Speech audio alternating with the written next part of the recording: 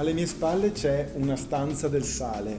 Nelle strutture delle terme ce ne sono diverse e perché hanno delle proprietà curative. 30 minuti qui dentro, secondo alcuni studi, è dimostrato che ha lo stesso valore di 2-3 giorni di mare.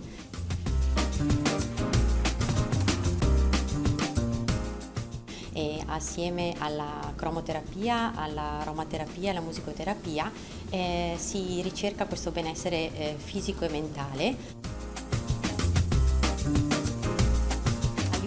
Molto anche per eh, combattere e alleviare eh, malattie dell'apparato respiratorio, quali riniti, sinusiti, eh, asma. asma.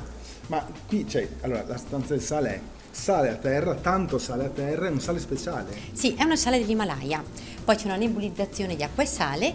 Che e poi anche le pareti sono di sale. Di sale con la cromoterapia, sì. Grazie, buongiorno Martina. Grazie a voi.